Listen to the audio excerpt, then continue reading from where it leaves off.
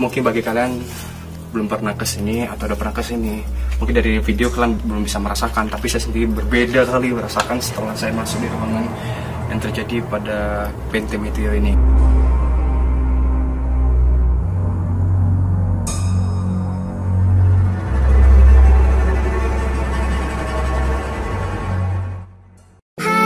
Assalamualaikum warahmatullahi wabarakatuh. Ketemu lagi dengan channel Santai Banget. Dengan saya nama saya Dewa. Dan hari ini kita tentunya masih di kota Sabang. Dan tepatnya salah satu yang bikin kita lihat Dan kita bakal pergi ke sana Yaitu Benteng Meteo. Tepatnya di Cerbau Jadi untuk mengetahui seperti apa Benteng Meteo di kota Sabang Letaknya di Cobau Eh kebetulan kita hanya di Santai Banget. Tetapi kawan saya lagi nyusul dan hari ini kita bakal lihat ketemu nggak sama siapa nih yang di samping nih? Atau siapa nih? Oke santai banget. Sekarang kita udah sampai di benteng Meteo. Dan tepatnya bakal kita tuju ke sana. Oke oke. Si Bayu baru sampai tuh baru sampai tuh si Bayu. Bayu yo. Eh ma. Gimana yuk ya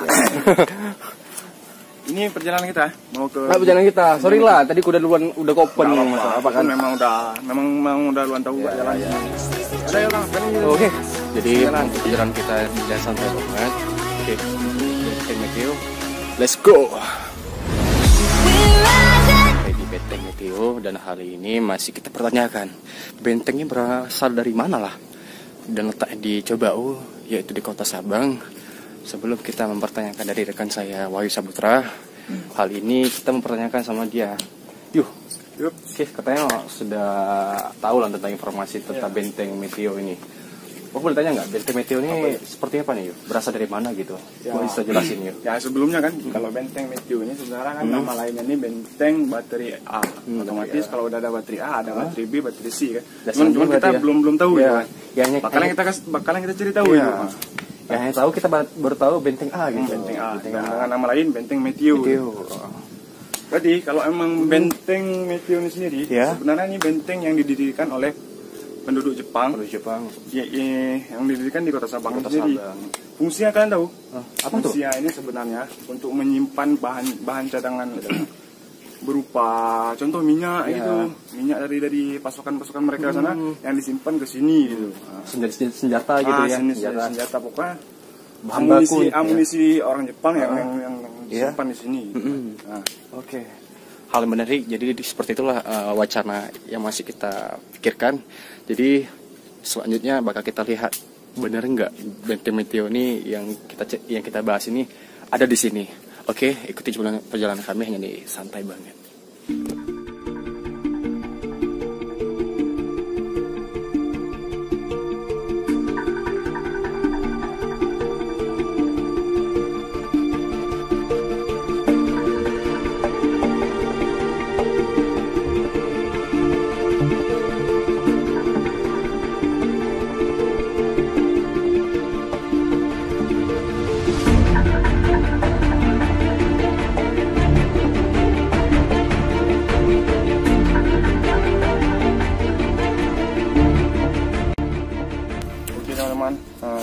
Bisa kita lihat ada benteng yang ada yang ada berlukiskan seperti tentara Jepang. Ya kita sendiri belum tahu juga.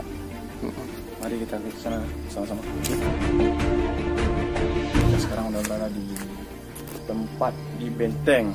Benteng tempat penginapan bisa kita bilang. Penginapan uh, para pasukan tentara Jepang terdahulu yang mana di dalam satu benteng ini terdiri dalam empat ruangan. Empat ruangan juga Ya.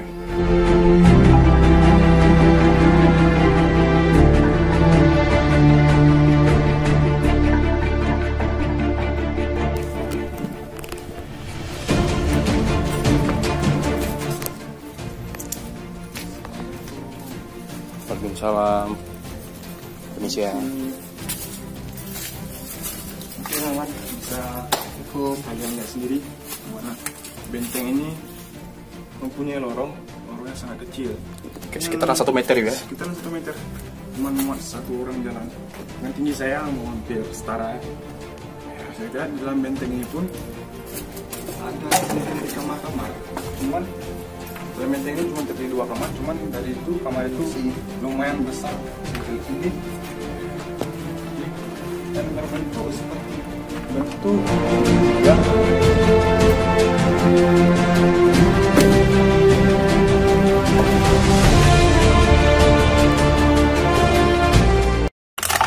Oke kawan kita sudah di ruangan persenjataan Jepang. Mungkin bagi kalian belum pernah ke sini atau udah pernah ke sini, mungkin dari video kalian belum bisa merasakan. Tapi saya sendiri berbeda kali merasakan setelah saya masuk di ruangan yang terjadi pada benteng meteor ini. Orang yang lain sumpah jam segini orang yang lain gimana kira-kira kalau tengah malam gitu atau malam hari. Jadi pantau terus hal-hal yang masih bisa kita angkat tentang sejarah benteng meteor ruangan persenjataan yang kedua di BT Meteo.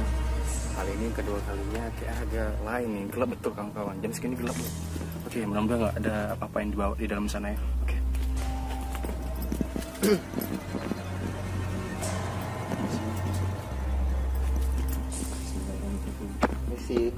Sholli ala sayyidina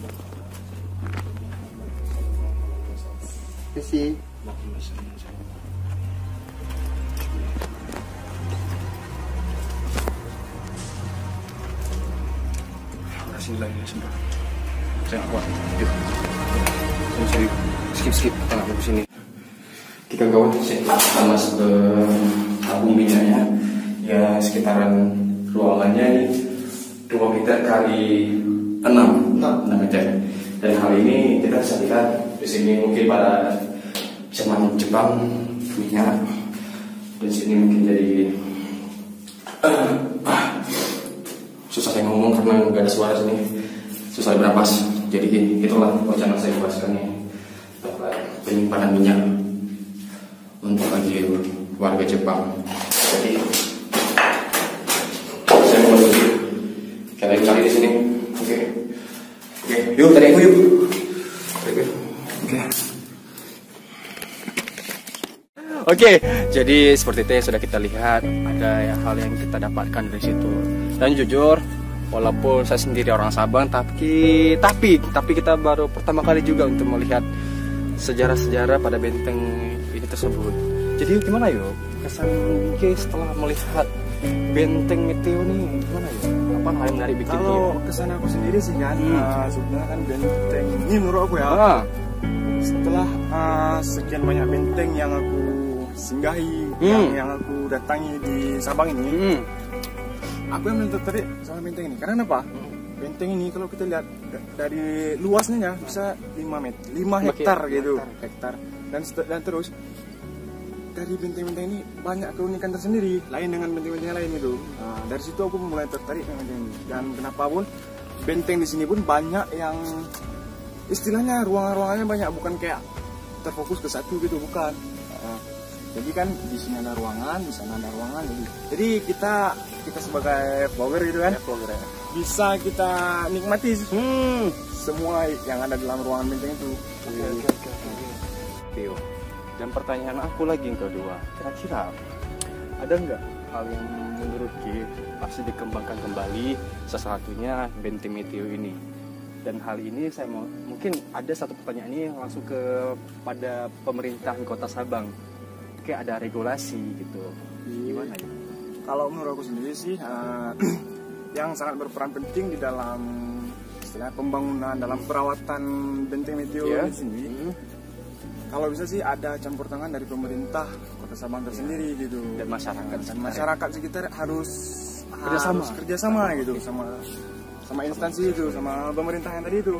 Dan hal ini peran utamanya siapa nih? Peran utama kalau bisa kita lihatkan ya pertama dari dinas kebudayaan dan pariwisata kota Sabang Sabang, oke. kami harapkan eh, dan juga ada bantuannya dari bapak wali kota Sabang yaitu eh, Tengku Nasarudin Rudin ya salah satunya alumni Mas Alumni Sabang, Mas ya, alumni Sabang, Sabang, karena Pak. kita yang kami alumni Sabang, Mas kami alumni Sabang Mas Sabang, Pak. Pak. Oke. Satu tinggal Apa? dinas kehutanan yuk. Dari Oke, sini kan terkait dengan ya. kehutanan. Oke. Sangat berperan di sini yuk. karena kenapa Apa? dengan Hmm. dengan benteng Meteo ini Bangkit. bangkit, dan dikembangkan Aset Orang wisata berkembang. wisata ini bakalan naik, Berkembang. maju gitu. Nah, maka dari itu Maju. karena kenapa? Kalau kita lihat sekarang sekarang ini Hmm. sangat sepi di benteng-benteng ini. Karena kenapa? Karena banyak yang belum tahu. Ya ya, ya. itulah yang sangat yang sangat disayangkan di kota Sabang ini. Kurangnya perhatian dari pemerintah. juga kan dan bisa kita bilang juga low profile benteng Meteo ini. Jadi coba kita hack lagi tentang benteng ini. Dan saya yakin satu lagi apa tuh setelah Hmm. hmm, para wisatawan tahu Iya. bahwa di sini ada benteng saya yakin benteng ini bakalan ternama Sama. uh, akan mengalahkan benteng anak hitam contohnya Iya. uh, ataupun benteng-benteng lainnya gitu Iya. karena kenapa benteng ini itu sendiri ya seperti yang kita tadi Iya. menakjubkan Ya, ya menunjukkan dan hal ini jujur ya ada kurang perhatian dari ya salah satu pemerintahan dan masyarakat. Tetapi kalau misalnya dengan video vlog ini kita bisa jadi sarana dan bisa jadi motivasi untuk berkembangnya pariwisata Kota Sabang. Ini sangat bagus. Karena apa? Ini salah satunya nanti kalau ini berkembang, omset ekonomi pariwisata akan bertingkat kembali lagi Oh, dengan adanya benteng terbaru yang orang pandang umah ada yang baru lagi di Sabang lo nggak sekedar dari ibu Gapang kilometer Yang nol umum gitu. Sudah umum dan ini jadi hal beda sebenarnya. Jadi tolong bapak ibu dari kota Sabang tolong bantu kami dalam melalui video ini. Semoga Sabang lebih maju dan lebih baik lagi. Amin, amin. Oke, ikutin selanjutnya perjalanan kita hanya di Santai Banget